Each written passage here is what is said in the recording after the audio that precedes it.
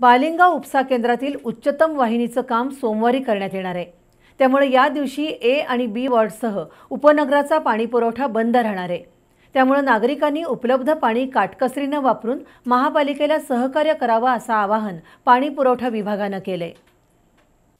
बालिंगा नागदेववाडी आणि शिंगणापूर या ठिकाणावरून पाणी उपसा करून कोल्हापूर शहराला पाणीपुरवठा केला जातो. बालिंगा जलउपसा केंद्रातील उच्चदाब वाहिनीची दुरुस्ती विद्युत पारेषण कंपनीकडून केली जाणार आहे. त्यामुळं बावीस ऑगस्ट रोजी दुरुस्तीचं काम पूर्ण होईपर्यंत बालिंगा आणि नागदेववाडी जलउपसा केंद्र बंद ठेवावी लागणार आहेत. परिणामी सोमवारी बालिंगा केंद्रावर अवलंबून असणाऱ्या ए बी वॉर्ड आणि त्याला संलग्नित उपनगरातील पाणीपुरवठा बंद ठेवावा लागणार आहे.